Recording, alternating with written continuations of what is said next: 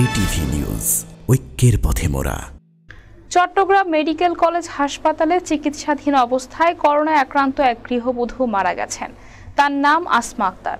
বাড়ি নগরীর double mooring থানার আগ্রাবাদ এলাকার মৌলভীপাড়ায়। বুধবার দিবাগত রাত একটায় তিনি হাসপাতালের করোনা ওয়ার্ডে মারা যান।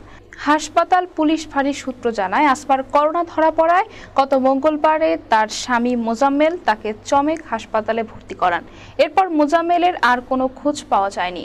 বুধবার রাতে রোগীর অবস্থার অবনতি হলে হাসপাতালের রেজিস্টারে থাকা স্বামীর নম্বরে যোগাযোগ করেন ওয়ার্ডের দায়িত্বরত চিকিৎসকরা। কিন্তু ফোন বন্ধ থাকায় তাকে পাওয়া যায়নি।